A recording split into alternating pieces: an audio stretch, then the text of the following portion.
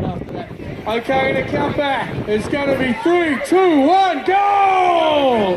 Oh, man down.